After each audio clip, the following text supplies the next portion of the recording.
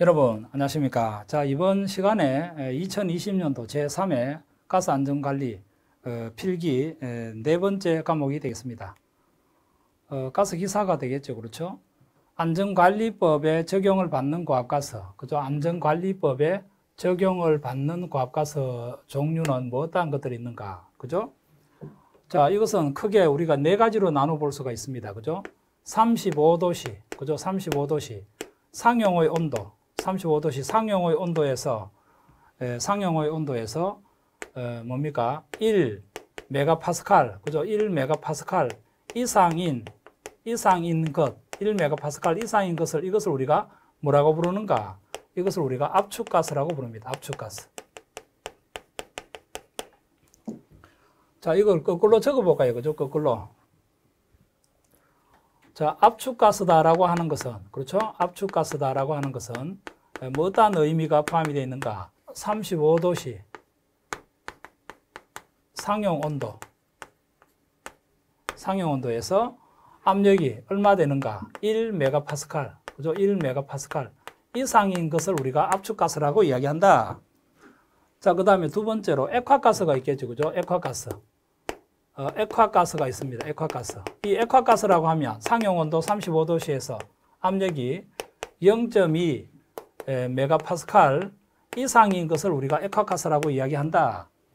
그 다음에 아세틸렌, 이걸 우리가 용액가스라고 볼 수가 있겠죠. 그죠? 아세틸렌은 온도가 15도씨에서 그 압력이 0 어, 파스칼, 0 파스칼 초과하는 것을 의미한다. 초과. 그렇죠? 초과하는 것을 의미한다.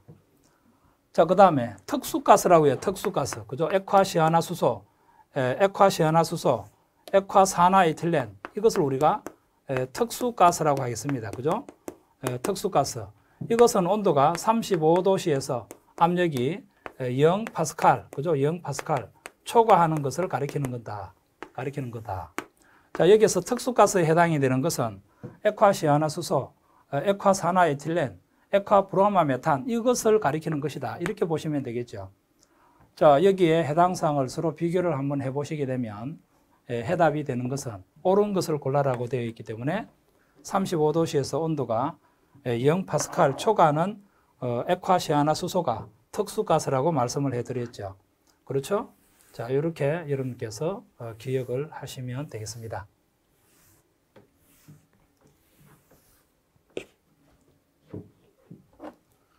자, 그 다음 우리가 62번이 되겠죠. 그죠? 62번 문제를 보도록 하겠습니다. 도시가스 사용 시설에 사용하는 배관 재료 선정 기준에 대한 설명으로 틀린 것을 골라라. 배관 재료는 배관 내의 가스 흐름이 원활한 것으로 한다. 맞는 말이죠. 배관 재료는 가스 압력과 외부로부터 하중 및 충격 하중에 견디어야 한다. 배관 재료는 배관의 접합에 용이해야 된다. 그죠? 누출을 방지할 수 있어야 된다. 배관 재료는 절단 가공을 어떻게 한단 말입니까? 어렵게 한다는 쉽게 해서, 그죠? 예, 절단 가공을 쉽게 해서 우리가 예, 수리하기 좋도록 한다. 이렇게 되어야 되겠습니다. 무슨 말인지 이해하시겠죠? 그죠? 자, 이것이 62번 예, 문제가 되겠습니다. 자, 그 다음에 63번 예, 문제. 어, 집안조사, 집안조사. 예, 1차 집, 틀린 것입니다. 집안조사에서 틀린 것. 그죠? 1차 집안 조사 방법은 이너, 이너팅을 실시하는 것이다. 그죠? 이너팅이다. 이너팅. 이너팅이는 불활성 가스를 우리가 집어넣는 것을 우리가 이야기하는 것이죠. 이너팅이 아니라 이것을 우리가 보링으로 바꿔주셔야 됩니다. 보링. 그렇죠? 보링. 이 보링이라고 하는 의미는 뭐 어떠한 의미가 내포되어 있는가. 그죠? 집안에 충격을 주어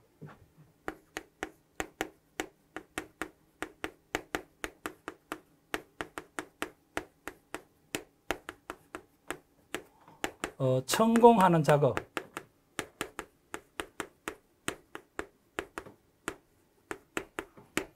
어, 집안에 충격을 주어 천공하는 작업을 보링이라고 이야기합니다. 어, 이게 아니다 이 말입니다. 그죠? 틀린 것은 답은 1번이 되겠죠. 어, 표준 관입 시험을 시험은 n 값을 구하는 것이다라고 되어 있는데 이 n 값은 무엇을 가리키는가 하면 그죠? n 값은 이것은 어, 타격 횟수를 가리킵니다. 타격 횟수. 타격 해소, 천공 작업을 할 때 이렇게 팍팍팍팍 이렇게 네, 치지 않습니까? 맞죠? 땅을 우리가 천공할 때 말입니다. 그죠? 자, 그래서 틀린 것은 답은 1번이 되겠다. 그죠? 틀린 것은 답은 1번이 되겠다.